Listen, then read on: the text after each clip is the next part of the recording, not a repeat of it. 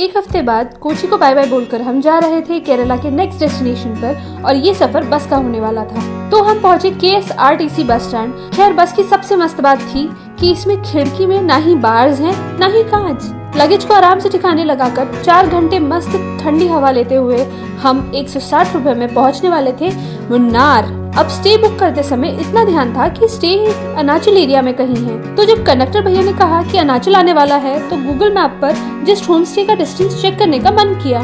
और यस हम बस तीन किलोमीटर दूर थे अपने होम स्टे से। लेकिन अब साइड में बस रुकाकर ऑटो वाले भैया ने सिर्फ़ थर्टी रुपीज़ में हमें होम स्टे तक छोड़ दिया। होम स्टे दिखने में काफ़ी अच्छा था, लेकिन ओनर ने हमारे साथ थोड़ा स्कैम कर दिया। जैसे जैसे मामला निपटा कर एक घंटे तक ऑर्डर खाने का वेट करते, जब हम थक गए तो हार कर भोजनालय पहुंचकर मस्त थाली का आनंद लिया और इस तरह खट्टी मीठी सी एंट्री ली मुन्नार में।